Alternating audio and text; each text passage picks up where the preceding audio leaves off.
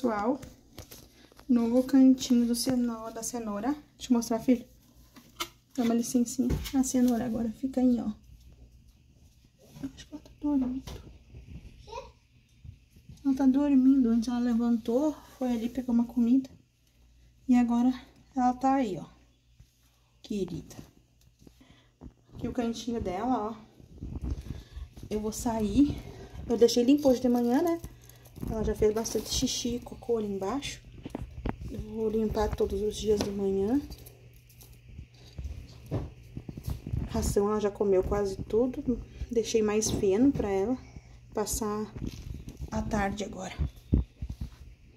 E é isso. Pelo visto, esse vai ser o cantinho dela. Ela tá dormindo no cantinho. Nem vou cutucar ela pra não ficar assustada. Que? Ela se assusta muito. Aí, podia ser, né? O meu. Aqui, né? Ser pequeno.